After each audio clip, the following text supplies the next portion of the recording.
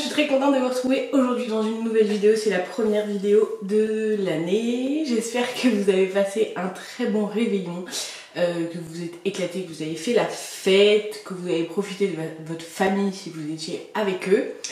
Euh, je vous souhaite une très bonne année, évidemment, euh, pleine de santé, de bonheur, de réussite, de sous, de tout ce que vous voulez. Voilà, je, voilà, je, vous souhaite une très bonne année. Pour cette première vidéo, j'avais envie de vous parler, justement, comme c'est la première de l'année, de euh, ce qu'il faut avoir dans sa première trousse beauté. C'est un peu une vidéo spéciale débutante, mais pas que, parce qu'en même temps, je vais vous présenter des marques à petit prix que j'aime bien, que j'ai testé. Si vous connaissez des très bonnes petites marques à petit prix, qui sont pas très connues ou quoi, euh, bah, n'hésitez pas à le dire en commentaire si vous les avez testées.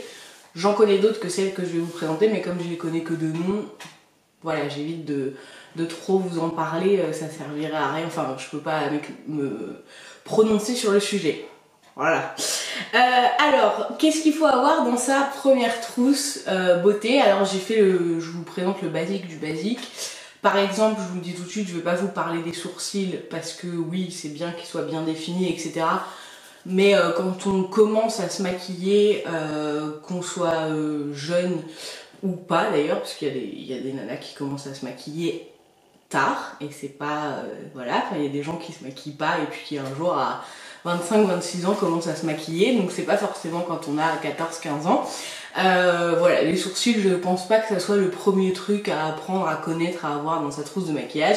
Après, bien sûr, euh, dans tout ce que je vais vous montrer, vous prenez et vous prenez pas euh, ce que vous voulez, quoi. Hein, c'est C'est vous qui choisissez. Si vous avez envie de, de maquiller que vos sourcils et que vous vous en fichez de la bouche, bah, vous avez bien le droit.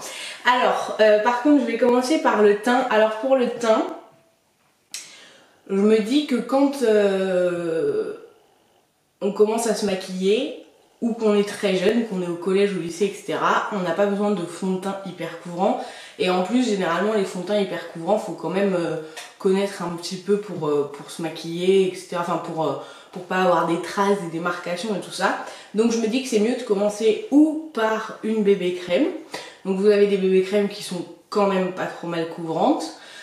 Euh, ou alors par des fonds de teint très légers comme par exemple euh, Nude Sensation de Bourgeois que je vous avais déjà présenté dans un tuto donc je crois que c'est dans le make-up spécial petit prix que je vous remettrai.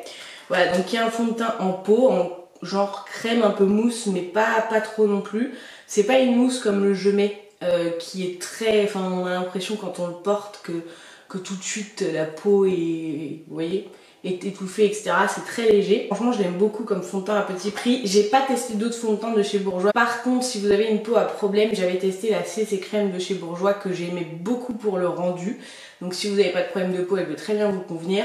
Mais à moi, euh, elle m'avait fait, euh, à ce moment-là, j'avais vraiment de l'acné, etc. Et elle m'avait fait une crise d'acné, mais Enfin, j'avais eu 15 boutons qui étaient sortis d'un coup.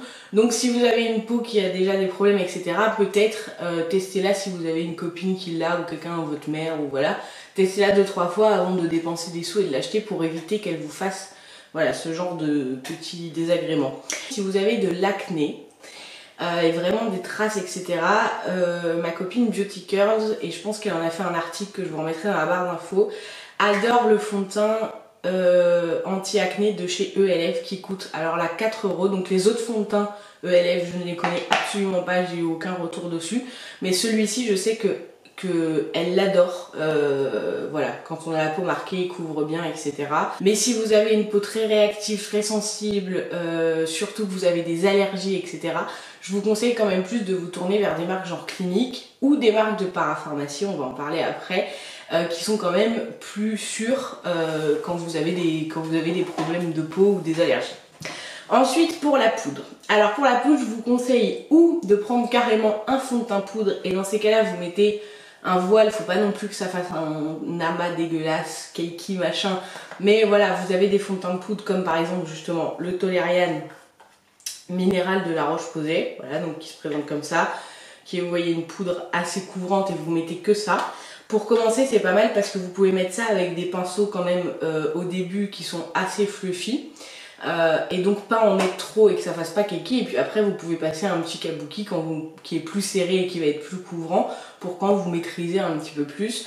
Donc ça c'est bien parce que vous n'avez à mettre que ça. Donc pour euh, le collège tout ça bah, c'est quand même pratique. Vous avez pas si vous avez si vous êtes dans la mauvaise période un peu peau grasse machin euh, la, le, la Roche-Posay, c'est une marque de parapharmacie très bien qui va normalement pas vous filer des boutons, mais c'est pareil, c'est ça dépend des gens, etc. Et le fait d'avoir un fond de teint poudre, bah, au moins vous mettez que ça, ça reste léger. Il faut que vous arriviez à vous dire que quand c'est euh, les premières fois que vous vous maquillez, euh, faire léger c'est mieux au début pour apprendre.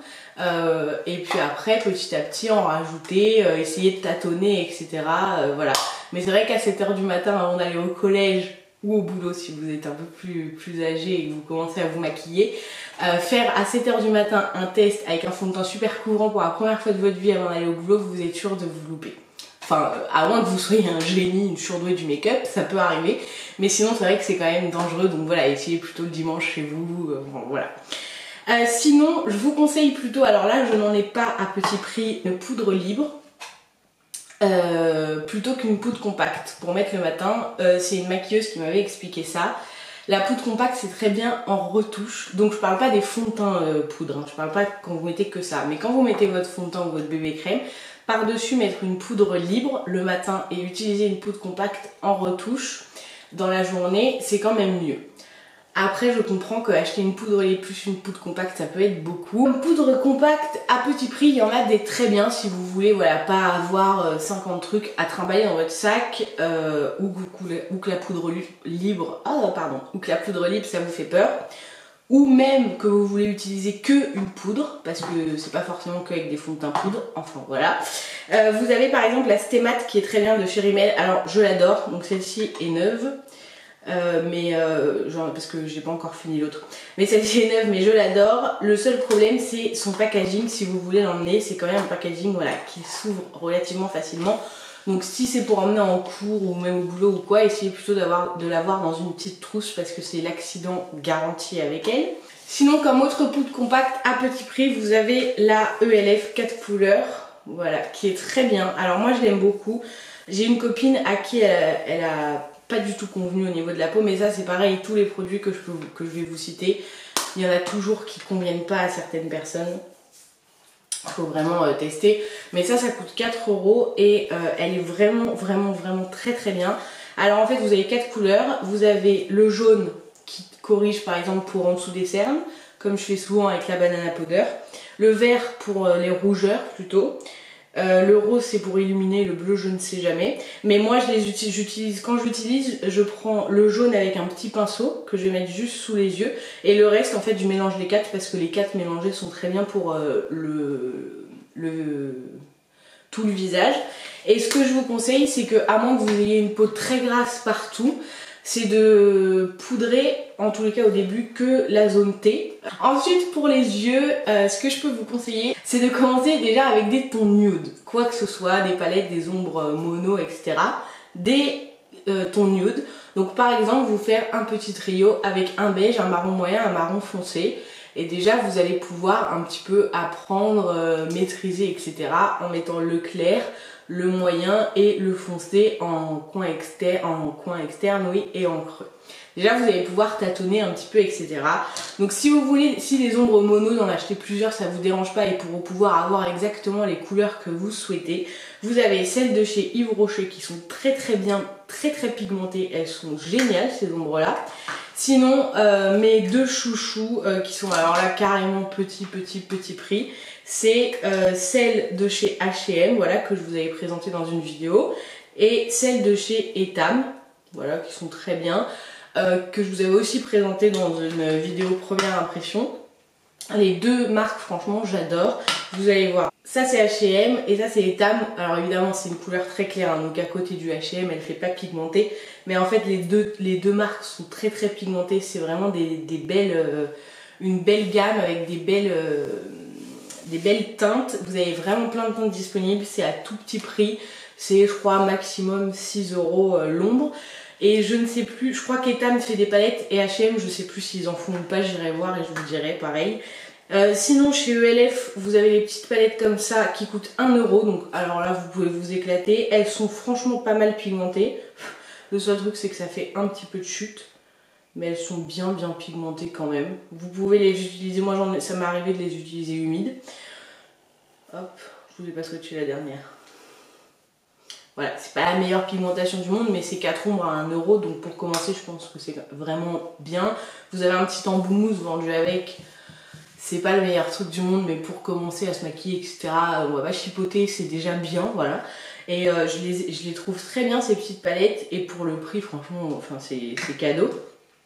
Et ensuite, chez Essence, alors moi, j'en ai pas par ici, on m'avait offert cette petite palette là de 8 ombres. Donc je ne connais pas le prix, mais si vous êtes en, si vous avez un Auchan près de chez vous, normalement vous pouvez les trouver. Donc ça c'est pas une palette de nude du tout, c'est la Night Club, je sais même pas si elle existe encore. Quand j'irai en région parisienne, je verrai, euh, je vous dirai ça. Et c'est pareil, les ombres essences sont euh, hyper bien pigmentées. Et là, vous avez des petites palettes de 8 tons, donc je pense qu'il y en a d'autres avec des nudes ou je, enfin, peux pas vous dire, mais voilà, si vous trouvez leurs petites palettes, en tous les cas, elles sont bien et ça doit pas être, ça doit vraiment pas être cher. Ensuite, euh, il vous faudrait aussi, dans votre première trousse, un crayon noir de préférence ou cher. Euh, alors moi, ceux que j'aime beaucoup, c'est ceux de chez Sephora. Donc là, j'en ai un blanc, mais pour commencer, je vous conseille pas le blanc. Euh, pour la bonne et simple raison que ça, enfin ça, c'est mieux de mettre du cher que du blanc en muqueuse. Les crayons Sephora sont très bien, ils coûtent pas très cher et en plus ils sont vraiment très grands, donc ils vous durent longtemps. Voilà. Ensuite vous avez euh, ceux de chez Etam qui sont très très bien, qui sont bien gras. Donc eux c'est des vrais cols, vous pouvez les mettre en muqueuse et vous pouvez surtout euh, vous entraîner au trade liner par exemple, voilà, donc faire comme un trade liner et que vous pouvez smoker parce que comme ils sont bien gras, vous pouvez bien les stomper si jamais euh, c'est raté, que vous êtes pressé, que vous voulez pas faire un trade liner hyper net. Euh, et ensuite, il y a les automatiques précision eyeliner hand call de chez Kiko. Alors ça, c'est mon grand chouchou. Voilà, donc c'est un crayon qui se tourne comme ça. Vous avez un petit embout pour pouvoir le tailler. Et vous avez une petite gomme qui sert pas à grand chose, mais qui peut vous aider à smoker. Et eux sont très bien, très intenses aussi. Ils durent pas mal de temps, ils coûtent 6 euros je crois. Et euh, vous pouvez vraiment, avec eux, vous pouvez vraiment apprendre le liner. Vous voyez la petite gomme, elle sert pas à grand chose, grand chose. Au moins, vous pouvez avec euh, smoker un petit peu. Mais bon, c'est mieux de le faire avec un, petit pinceau. Mais au moins, c'est comme les... C'est comme les embouts mousse dans les petites palettes, ça a le mérite d'être là. Comme mascara, alors mascara, ceux que je vous conseille vraiment, vraiment, vraiment en, marque à petit prix, c'est les Je mets, qui sont géniaux. En plus, il y en a plein, avec plein de brosses. Ils ont le basique qui s'appelle le volume machin, qui est le, mascara le plus basique du monde. Pour commencer, j'aime aussi beaucoup le Great Lash, voilà. Ceux de mon époque qui sont nés euh, fin 80-90 se rappelleront de la pub, genre du Great Lash vert et rose, vous le voyez, on avait 9 ans, on était là, waouh, ça, voilà. Mais il est très bien comme premier mascara parce qu'il est assez doux, euh, il fait pas, euh, enfin voilà, c'est difficile de se louper avec. Et je parle bien du Great Lash, le basique, parce qu'entre temps ils en ont sorti avec euh, une brosse qui fait comme ça là. mais il y a un, un Great Lash basique avec une brosse toute simple et il est très très bien. Ceux que je mets en général, je vous les conseille. Après, celui que je vous conseille aussi, alors j'ai testé que lui chez Yves Rocher c'est le euh, mascara volume déployé. Voilà, qui est comme ceci. Donc moi c'est un brun que j'ai, hein, mais il existe en noir et il existe en waterproof aussi. Donc c'est une brosse toute simple, mais il fait vraiment du volume, euh, etc. Et je vous conseille pour euh, commencer, mais après bon, c'est un... Je sais qu'on parle énormément des brosses à picot en ce moment, mais pour commencer, je vous conseille vraiment plus des brosses en poil. Et voilà, comme ça, toutes simples, pas euh, qui sont pas, qui ont pas des formes cheloues, des billes au bout, des machins et tout, parce que euh, c'est avec ça que vous allez apprendre le mieux et après vous pourrez essayer avec d'autres brosses plus extravagantes et qui vous font plus des cils de fou. Euh, ensuite, on va revenir au teint, je suis désolée, j'avais zappé. Pardon. Il vous faudra quand même un blush euh, donc moi j'ai ceux de à petit prix j'ai ceux de j'ai celui de chez Essence qui est très bien c'est pareil très pigmenté très velouté très agréable etc c'est pareil, je ne sais pas si à combien ils sont, etc. Puisque c'était dans le même swap. Mais voilà, ceux de chez Essence sont très bien. Vous avez ceux de chez Bourgeois, les petites boîtes rondes aussi qui sont très bien. Ceux de chez Etam, je les ai pas testés, mais à ce qui paraît, ils sont bien. Et ceux de chez H&M, si vous vous souvenez de ma vidéo première impression, je l'avais fait, enfin je voulais offert dans le concours, je euh, voilà. Mais moi je m'en étais pas pris parce que c'était une teinte que j'avais déjà. Mais euh, en swatch, quand je, les, quand je les ai regardés, évidemment, euh, je les ai trouvés très pigmentés, très veloutés, très doux. Il y a aussi des blushs crème, etc. Je vous conseille plutôt des blushs poudre pour commencer, moins de chances de se louper. après les blushs crème, parce qu'il faut quand même voilà, que ça soit à peu près égal, c'est pas pareil pour appliquer, c'est un peu plus compliqué. Enfin, compliqué, non, rien n'est compliqué en maquillage parce qu'après vous pouvez estomper et tout, mais les blushs poudre c'est quand même plus simple. Et ce genre de couleur, pêche pour moi c'est pareil, pour, pour commencer c'est mieux parce que c'est assez naturel, ça fait vraiment juste un petit, un petit coup de frais euh, sur les joues et je trouve ça vraiment sympa. Euh, on va pouvoir passer aux lèvres. Alors les lèvres c'était un petit peu le truc un peu compliqué pour moi à vous conseiller. Parce que euh, moi qui aime porter beaucoup de mat, beaucoup de choses qui se voient, etc. Je me suis demandé qu'est-ce que je portais à 16-17 ans quand je. Enfin voilà quand je voulais pas que ça se voit trop. Euh, après, je me suis aussi dit que c'est pas parce que vous, moi j'avais été comme ça que vous, vous voulez peut-être commencer direct avec des trucs qui pètent et qui se voient. Donc j'ai fait un petit melting pot, mais j'ai des trucs sympas à vous présenter. Alors, si vous êtes frileuse et que vous voulez mettre des couleurs mais qu'en même temps vous avez un petit peu peur etc. Je vous conseille les baumes euh, teintés genre les Revlon. Et ceux-là en particulier parce qu'ils sont très bien pigmentés. Donc vous n'allez pas avoir l'impression de rien mettre. Mais vous voyez, ça va quand même être, euh, ça va quand même se voir, ça va quand même être une couleur. Donc c'est glossy, c'est léger. Et, euh, et vous pouvez moduler la couleur. C'est-à-dire si là, j'ai mis euh, une couche, si je repasse, ça fait déjà plus un rouge à lèvres euh, quoi. Ça, ça apprend bien pour se maquiller les lèvres à se voir avec des lèvres euh, présentes, etc. Ensuite, un peu plus, euh, c'est le seul qui est pas petit prix, un peu plus haut de gamme et déjà plus rouge à lèvres, mais qui est sheer. Vous avez les, les sheer lipsticks de chez Urban Decay donc qui sont leur gamme sheer, où vous voyez déjà c'est plus soutenu, en plus c'est un rouge, donc voilà, mais il y a plusieurs couleurs. Mais c'est quand même pas non plus déjà, enfin pas présent, présent, euh, complètement euh, mat ou très pigmenté. Si vous êtes euh, entre deux, donc que vous êtes frileuse mais que vous, voulez vous tenter au mat, vous avez celui que je porte, qui vient de chez Bourgeois. Alors c'est une nouveauté qui va arriver, alors je crois que ça arrive chez Monoprix là bientôt en janvier. Et après dans les autres, euh, dans les autres enseignes, Leclerc, etc., euh, aux alentours de mars. Oui c'est ça, aux alentours de mars. J'ai eu la chance de pouvoir l'avoir en avant-première et je voulais vraiment vous en parler parce que c'est pas forcément le mat que j'ai l'habitude de, de m'acheter parce que c'est il s'appelle souffle de velvet parce que c'est vraiment un baume mat c'est spécial un baume mat c'est hyper agréable sur les lèvres et en fait si vous voulez, c'est très léger mais si vous, si vous attendez que ça sèche et que vous en rajoutez un peu, ça va être déjà plus présent. C'est super confortable sur les lèvres, donc c'est pareil. Commencez avec des rouges à lèvres mat liquides qui tout de suite vous agressent les lèvres, etc. C'est pas hyper agréable. Que là, c'est vraiment super agréable sur les lèvres, etc. Cette couleur-là, c'est la 8 Caramelli Mellow. Et ils sont décrits comme un mat en transparence, et en fait, c'est ça. Si vous voulez vraiment, et que ça vous dérange pas, que vous voulez y aller direct, que vous voulez des rouges à lèvres crémeux mais très pigmentés, que ça vous fait pas peur, vous avez tout d'abord les Butter Lipstick de chez NYX qui sont vraiment pas chers. Euh, donc moi j'en ai deux, j'en ai un très très présent et un plus nude. Alors, mais au moins c'est bien parce que ça vous montre. Donc les nudes sont quand même voilà, pigmentés, mais c'est super agréable sur les lèvres. Ils portent bien leur nom Butter Lipstick, c'est voilà, hyper crémeux, c'est ça, c'est du beurre en fait. Et euh, par contre vous allez voir, Hop, celui-là vous le connaissez puisque je vous l'ai mis aussi dans mon tuto make-up à petit prix. C'est hyper pigmenté, c'est hyper présent. Mais après, si vous n'avez pas peur et tout, ceux-là, je vous les conseille à 1000%. Ensuite, toujours de chez NYX, j'ai euh, les matte lipstick. Donc là, c'est si vous voulez du mat, si vous n'avez pas peur. Euh, voilà, donc ceux-là, ils sont quand même agréables. Moins que les Revlon ou les souffles de Velvet.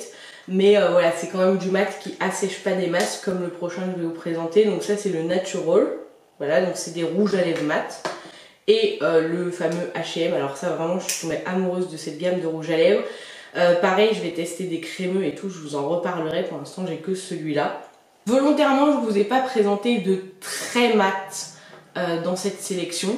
et de liquide mat non plus, à part celui-ci qui est un, entre-deux, on va dire. Je l'ai fait volontairement euh, parce que je, je pense pas que dans une première trousse à petit prix, vous ayez envie de commencer direct euh, avec des, liquides mat hyper présents, etc. Euh, après, comme teinte, je vous dirais de commencer par un nude, donc moulé comme ça, ou voilà les butter lipstick. Un nude même un peu soutenu pour avoir quand même quelque chose sur les lèvres. Euh, et si vous, si vous voulez vraiment en avoir deux tout de suite, bah prendre un nude et un dans les tons rouges. Alors c'est pour ça que le F-Bomb d'Urban Decay est très bien parce que c'est un vrai rouge mais il est chir. Moi dans une première trousse de maquillage j'aurais pris euh, ces deux là par exemple, ces deux, teintes, ces deux genres de teintes. Voilà, c'est pour moi c'est le basique à avoir. Donc là je vous ai présenté plein de trucs, ça fait peut-être un peu beaucoup d'un coup. Euh, si vous voulez que je résume en deux minutes, une bébé crème ou un fond de teint très léger, une poudre, un blush, un crayon pour les yeux, noir ou autre, euh, un petit trio d'ombres à paupières ou trois petites ombres. Euh, voilà, après vous pouvez en avoir qu'une ou deux, mais c'est vrai qu'avec trois vous apprenez à faire un dégradé, puis vous avez, euh, vous pouvez aller du truc très léger pour le collège au truc plus foncé pour une soirée un peu plus smokée, etc. Du beige, du marron clair et du marron foncé. Pour moi c'est le basique à avoir en fait ces trois teintes. Euh, un rouge à lèvres euh, nude ou alors un nude et un, rouge et un blush si je vous l'ai pas dit. Non, et un mascara évidemment, pardon. Ça c'est vraiment le mascara, c'est le truc, voire même pas d'ombre et juste un mascara. Euh, c'est aussi le premier truc à avoir. Pour moi, ça serait plus un mascara que des ombres. Hein. Parce que si vous mettez que des ombres et pas de mascara, ça fait pas beau. Que par contre, si vous mettez juste du mascara, un petit rouge à lèvres nude, sans bébé crème, sans poudre, sans blush, sans rien, et ben vous sortez de chez vous pour aller au collège, au boulot, ce que vous voulez, et ben votre teint il est tout de suite plus frais et plus réveillé avec juste deux produits. Dites-moi ce que vous, vous en pensez, qu'est-ce que vous, vous auriez mis ou vous avez mis si vous l'avez fait récemment ou ce que vous aurez rajouté dans votre trousse beauté. Si cette vidéo vous a plu, si vous êtes d'accord avec moi ou voilà si vous avez des trucs à rajouter. Dites-nous surtout s'il y a d'autres petites marques à petit prix que vous avez testées parce que voilà, moi je vous ai, je vous ai cité celles que je connais mais je ne vais pas vous citer des trucs que je connais pas. Euh, si cette vidéo vous a plu, n'hésitez pas à mettre un petit pouce bleu et à vous abonner. Et, euh, et, voilà, je vous fais plein de gros bisous. Je vous souhaite encore une très très bonne année 2016 et je vous embrasse très fort. Bye bye